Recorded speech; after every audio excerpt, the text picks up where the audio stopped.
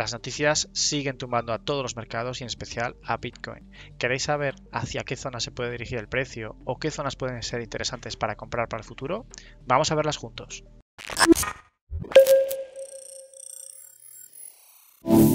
Bueno, pues bienvenidos una semana más. Eh, hoy os traemos un poquito eh, de gráfico, pero muy, muy, muy, muy, muy leve, que nadie se, asuste.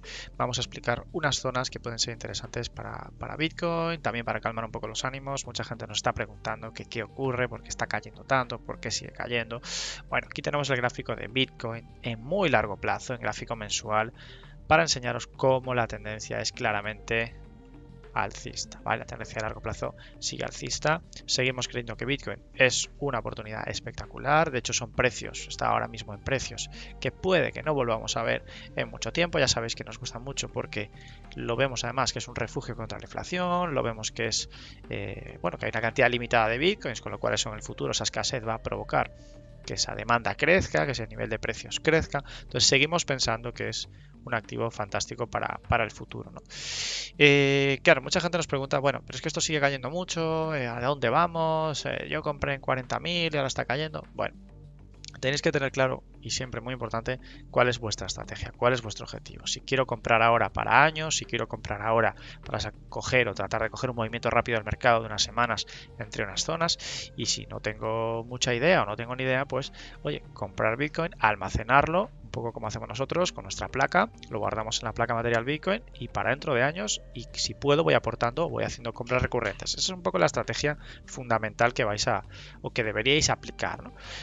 Pero para el que quiera afinar aún más esa entrada o esa compra o que esté esperando porque está en liquidez o tiene liquidez, bueno, fijaros cómo ahora mismo está cayendo. Voy a ponerlo más en grande, ahí está. Y la zona de 12.000, 12.500 fue en su día voy a marcarlo aquí, fue en su día una zona de mucho apoyo para el precio, mucha resistencia, mucho apoyo, ¿vale? Igual que lo fue 17.000. Si el precio se dirige hasta ahí, vale, ahí está, si el precio se dirige a la zona esta, va a ser un muy buen momento de compra. Y alguien dirá, ¿y por qué se va a ir a dirigir ahí? ¿Por qué no se puede girar? Se puede girar en esta zona, pero fijaros cómo de momento eh, lo que es el precio, las famosas velas que nosotros identificamos, no hace falta que lo entendáis todo al pie de la letra, pero fijaros cómo el precio está debajo ¿no? de una zona que nos, que nos interesa, que es esta zona 17, 300, 17, 500. Y si ya os lo he marcado aquí con flechas, si esto continúa, la zona de 12.000 va a ser una zona que nosotros llamamos un soporte muy relevante para el futuro para poder qué? hacer una compra de largo plazo.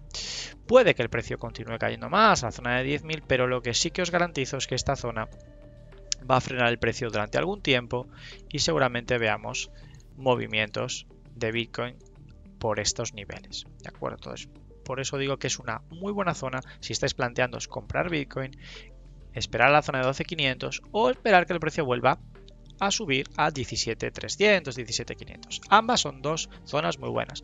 ¿Qué pasa? Seguimos en mercado bajista. ¿Por qué lo sabemos? Porque el precio no para más que hacer, no deja de hacer escalones cada vez más bajos. Entonces, de momento estamos en bajistas, pero si os gusta para largo plazo, comprar para largo plazo, como hacemos nosotros, lo que llamamos holdear o holding, son muy buenas zonas para que tengáis en cuenta. Bueno, pues nada más, esperamos que os haya gustado este pequeño análisis, eh, pequeño consejo también sobre, sobre estrategia, porque son cosas que nos preguntáis mucho y oye, queremos que, estéis enterados al máximo y que, sepáis cómo poder hacer una compra de Bitcoin quizá un poquito más ajustada o más acertada y que luego, por supuesto, eh, ya sabéis que nuestro consejo es cuanto antes sacáis el dinero, los Bitcoins del exchange, lo paséis a vuestro monedero, a vuestra placa, cuanto antes lo hagáis mejor porque serán realmente vuestros y podéis estar tranquilos. No habrá problemas de liquidez, ni habrá problemas de que se prohíban los retiros, que ya sabéis que muchos exchanges a veces bloquean un poquito los retiros durante algunas horas.